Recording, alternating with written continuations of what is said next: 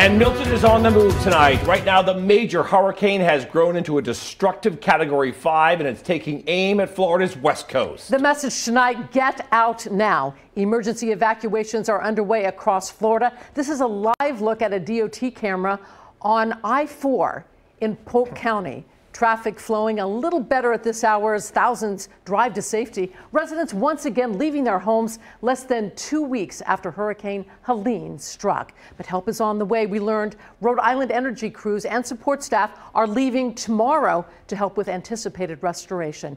Good to have you with us tonight. I'm Patrice Wood. And I'm Dan Jaehnig. You have to take this one serious. The big threat is once again the rain and the storm surge.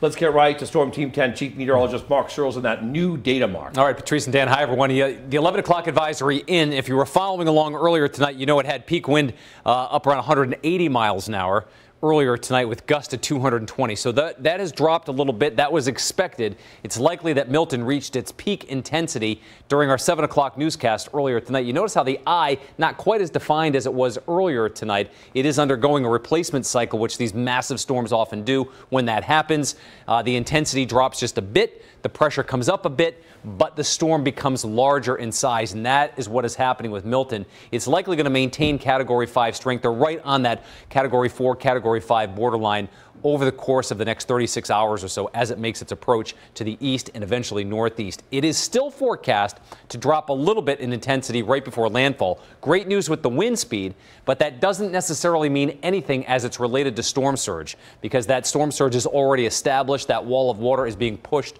toward the Florida coastline. You'll notice here, too, by Thursday morning, landfall, by the way, roughly around midnight or so, Wednesday night into early Thursday morning near Tampa. Still a Category 1 hurricane on the east coast, so there are hurricane hurricane warnings up still here from Cape Canaveral north, and there still could be some significant storm surge on the eastern side of Florida even after that storm passes. You can see that here indicating up to six feet. But the biggest storm surge would be right around the Tampa area, and this could potentially be historic surge.